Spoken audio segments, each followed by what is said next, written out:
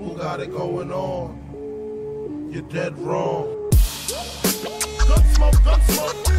Gun smoke, gun smoke. Gun smoke, gun smoke. Gun smoke, gun smoke. Gun smoke, gun smoke.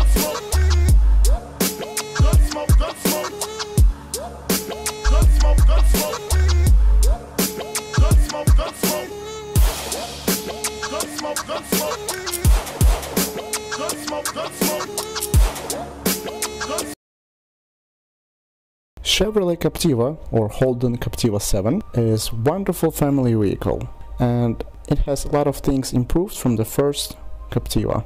The new edition looks more aggressive, more brutal and is a little bit fatter than the previous one. In Australia, the second Captiva looked much better than the CIS region. Even with the small changes you can feel the huge difference.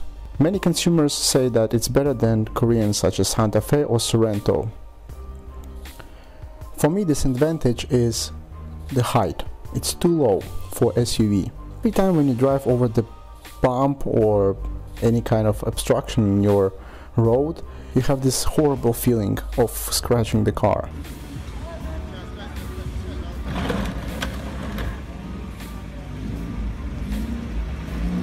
Design at the back is the same as the first one.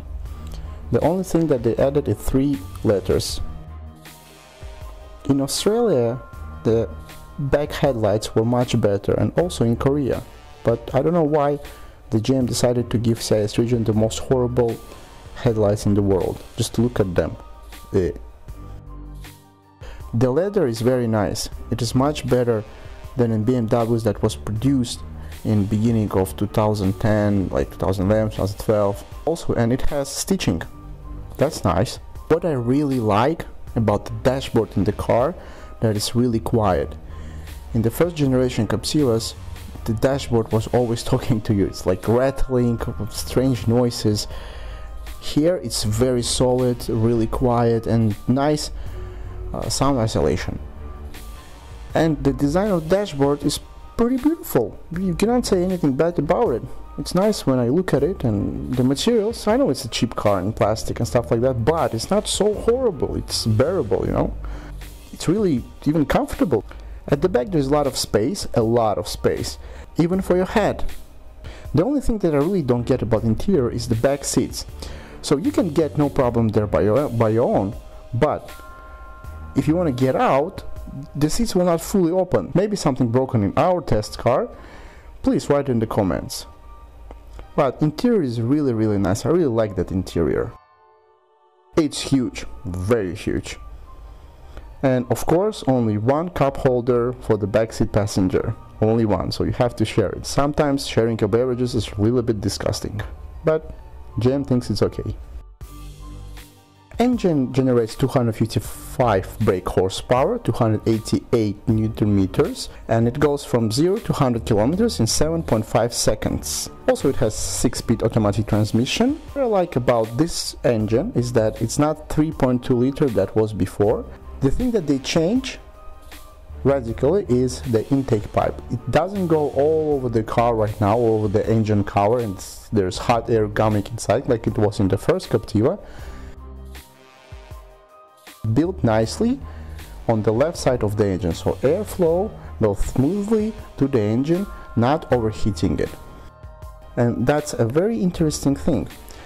A lot of people complain about engine chain and they say that it's better to put the chain from the Cadillac that is the same that has the same block. The thing I would recommend is to take care of this car. Really avoid fast acceleration fast starts and don't drive it crazy.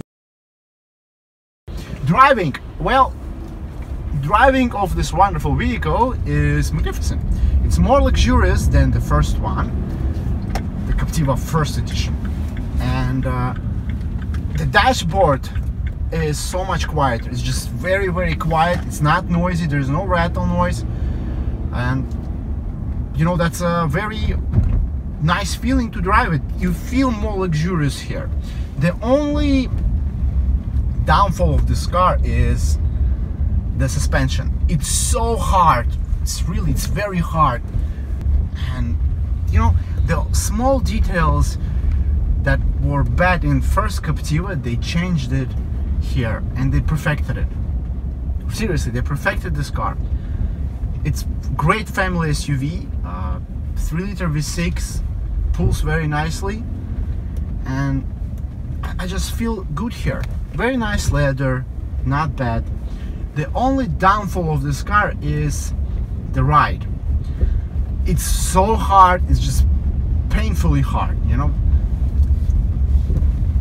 You just hear this, you know, like uh, noises where the tire hit, where the tire hits the bumps and it's like, boop, boop, boop. it doesn't glide, it just drops into each bump. It doesn't go smoothly at all.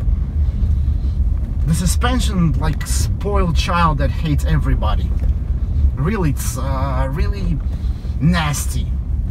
You know, and it's not a very bad road right now. It's a little bit uh, clumsy, but nothing horrible. You know, I drive every day through this road and nothing bad happens here. But now, it's just really, really really really bad. That's the only downside. And of course the uh, overall look of the car.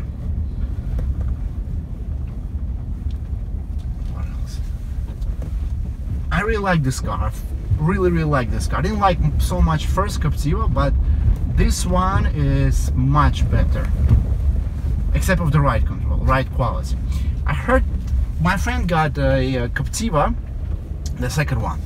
And he told me that he bought some kind of uh, shock absorbers in America from uh, like GM or somebody I don't know like some kind of custom shock absorbers that were that made this car glide significantly. And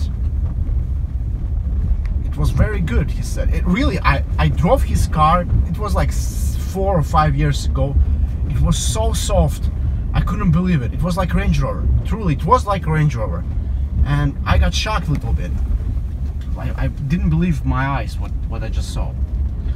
So, I really like it. I really do like it and I think maybe I will buy this car from the owner.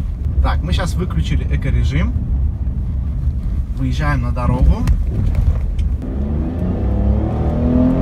Коробка чуть-чуть тормозит Чуть-чуть совсем. Ну, ништяк она прет. Ништяк. Но 3.2 она была более какая-то а, эпичная. В ней было больше эмоций. Здесь она хорошо едет, но она более сдержанная. И э, вы это чувствуете по звуку, по ощущению драйва. На 3.2 там меньше шумоизоляции было, там меньше а, там была хуже доработана торпедка, поэтому вот этого кайфа не было такого беспредельного. Здесь все приятно, все хорошо, но более утихомиренно, более такое вот э, люксовое ощущение есть. Вот. Ну, вся сила идет после 5000 оборотов. Она прям вот так кидает вас назад. Ну, не совсем так, но чуть-чуть тянет она. Хорошая машина. Хорошая. Я очень удивлен. Шумоизоляция здесь намного лучше, чем на первой Каптиве. Намного. Здесь вот это... So, uh, thank you so much for watching my channel. Uh, please subscribe to it, click that like button, and do some charity. Never forget about charity. And uh, take care and bye.